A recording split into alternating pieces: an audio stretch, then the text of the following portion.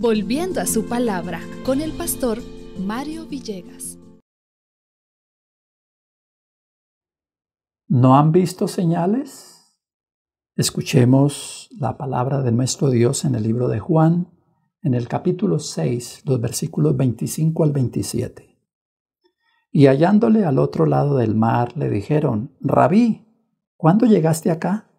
Respondió Jesús y les dijo, de cierto, de cierto os digo que me buscáis, no porque habéis visto las señales, sino porque comisteis el pan y os saciasteis.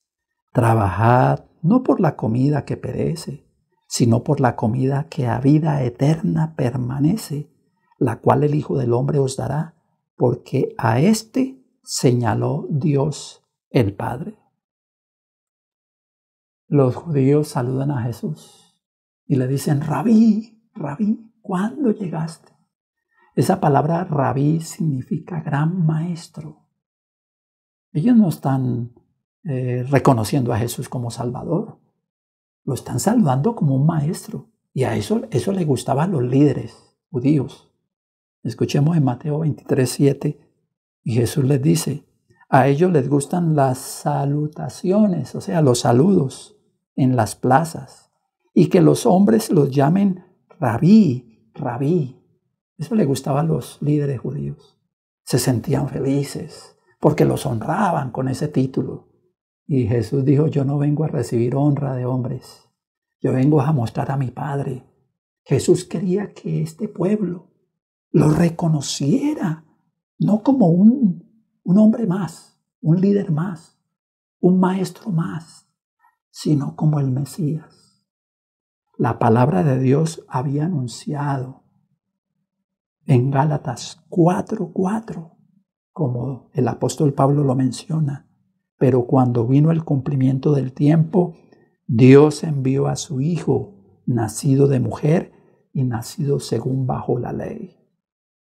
Jesús les dijo, ustedes no han visto las señales. Han visto milagros y quieren milagros para creer, pero no han visto las señales. ¿Cuáles señales? Las proféticas no lo reconocían como el Mesías prometido, como el Cristo, el enviado de Dios, porque no escudriñaban las profecías. Y cuando uno no escudriña las profecías, está fuera del tiempo. El tiempo de Dios se había cumplido, pero ellos no entendían el tiempo de Dios.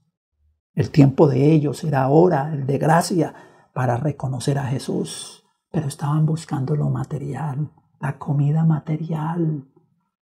Jesús dice, busquen primero el reino de Dios, no lo material. Lo material ya Dios lo va a dar. Es muy importante comprender.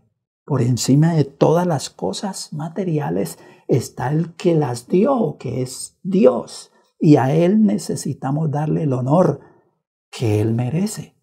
Él todos los días nos está dando como dice la escritura, sobre buenos y malos, bendiciones diarias, copiosas.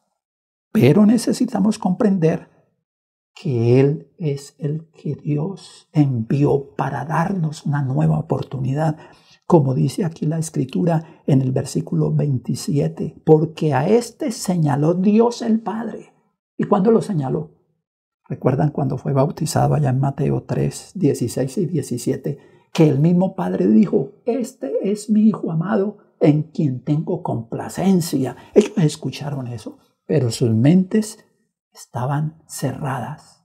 Abramos hoy nuestra mente, escuchemos la palabra de Dios y aceptemos al que envió nuestro Padre, a Jesucristo. Bendiciones del Señor y feliz día con Cristo.